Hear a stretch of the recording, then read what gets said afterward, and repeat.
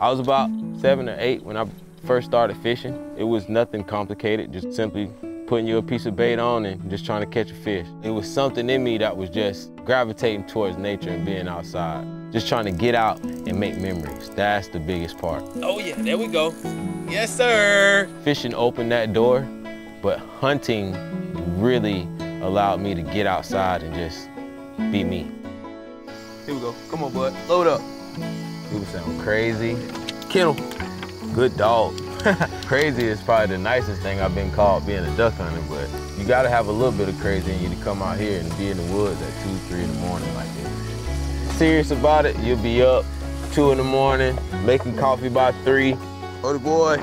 On the water by four. Good boy. You ready to hunt? And in your blind by five o'clock. You see everything out here, man. It's wild Florida, so snakes, frogs, lizards, gators. But that's wild Florida for you.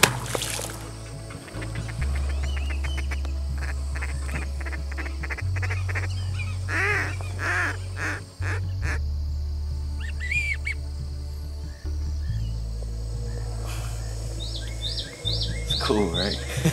That's one of the most beautiful things you can ever experience, watching the world wake up. It's great. Once you truly experience wild Florida for yourself, you can get one with nature. It's something that you cannot replace. Odie.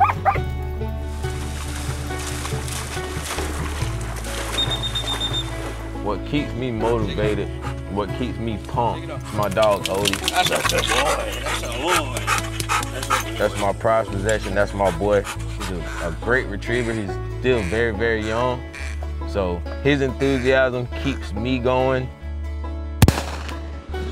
Oh, this is Florida. Anything less than this, you ain't really getting the full, you know what I'm saying, effects of Florida, man. Look at it. Wild Florida, man. Can't do nothing but love it.